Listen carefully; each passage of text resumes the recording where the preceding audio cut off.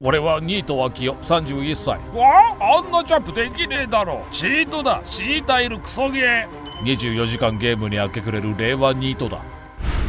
鍵っ子だった俺はあるものの虜になった。じゃじゃーん家でお留守番する時もこれがあれば楽しいぞ。うわーゲーム？もう面白そうやん。よし楽勝あーくそ。和也もう一回やらせて友達と対戦ゲームで盛り上がり夜まで熱中してしまうこともしょっちゅうあった。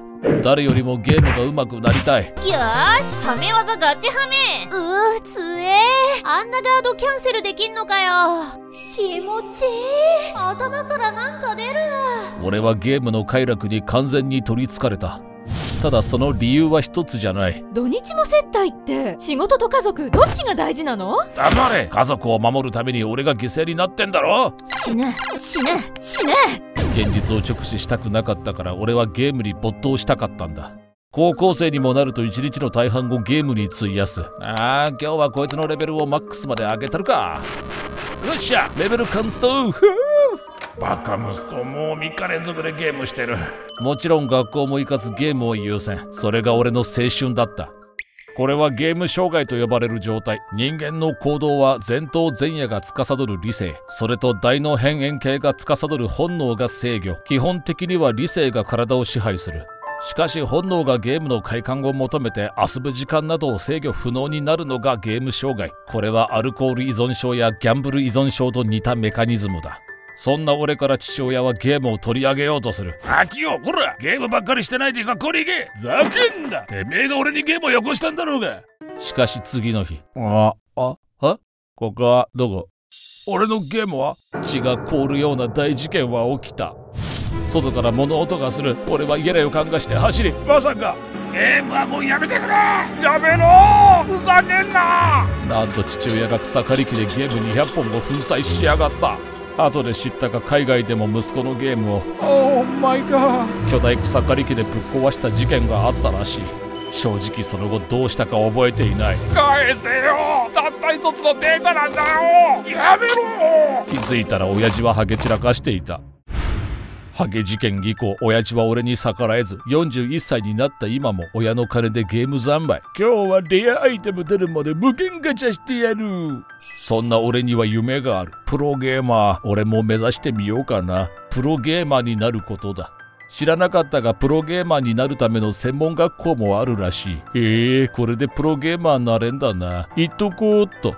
2年間で約250万円の学費がかかるがそれはあのハゲに出させよう。しかし思ったようにうまくはいかなかった。夜にさみんなで 3P 対戦しない？いいね。朝までやりまくろオッケー風呂入ったら家行くわ。いやいや俺も入れて 4P しようよ。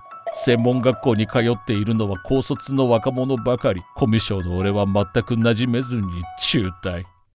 で専門学校を辞めた俺はニートになった。いいんだよ俺にはゲームがあれば。一人でできるもんニート人口は2020年で69万人。社会問題らしいが別に知らねえ。食事は親が運んでくれる。トイレだってペットボトルがあれば済む。入るサイズでよかった。だから一日のほとんどをベッド上で過ごした。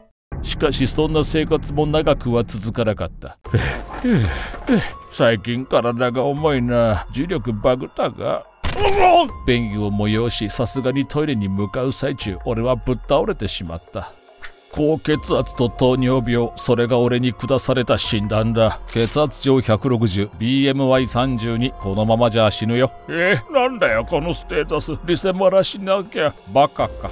運動をして節制しないと俺はこの世界からキルされるらしい病室から出るとハゲじじいがいた。病院に運んだのはこいつか。母さんはずいぶん前に家を出て行った。父さんもお前につぎ込んできたからもうないんだよ。何が？髪の毛？金だ。金がないんだよ。俺のガチャ代はトータル1000万円を超えハゲ親父の給料も限界を超えていた。水着ガチャ。SSS10 体出るまでやめまってん。頼む。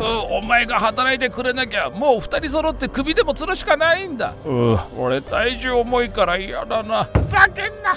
その時初めて自分の罪を知った。生きるか死ぬか知らない間に事態はそんなところまで進んでしまったらしい。もうお前も働かないと生きていけないんだ。分かったな。何やだよ。いいから来い。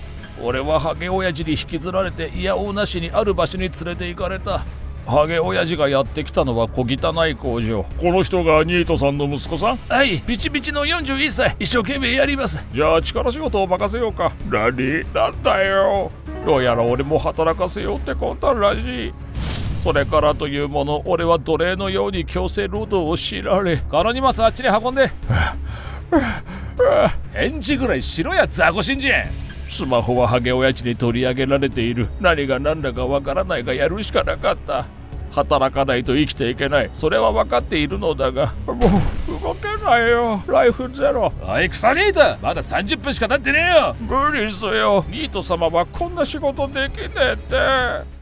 お前ってやつはどこまで腐ってるんだ。早く立って。無理だって。早く俺のスマホ返せよ。そしたら立つ。まだそんなこと言ってるのか。俺にはゲームしかないんだよ。Life is game ログインさせろ。イベ終わるせっかく私が全てお膳立てしてやってるのにお前なんかお前なんかに期待するんじゃなかった。俺のスマホゲームゲームだ。ここが工場内だということも忘れて俺は走った。そしてこんなもの。こんなもの貸してくれる。わ俺のスマホ。あろうことかこいつはスマホを粉砕機へと投げやがった。待って待ってこれ。出た。俺は必死に手を伸ばしただがでかっ俺の太った足はもつれてしまいえー、前のめりにつんのめってしまいあろうことか俺の腕は粉砕機に突っ込んでしまう。止めろ！機械止めろ！一瞬の痛みを感じた後俺の意識はぶっ飛んだ久しぶり。元気してるかキヨ？今度の帰省で地元に帰るからさ。また小学校の時みたいにゲームしない？は？あ何言ってんだよこいつ。キモしでしでボケが。俺はもうゲームなんかできねえんだよ。俺はあの事故で両腕を失いゲームオーバー。もう二度とコントローラーも夢も希望も持てない。もうリセットボタン押すしか。いや押せねえんだわ。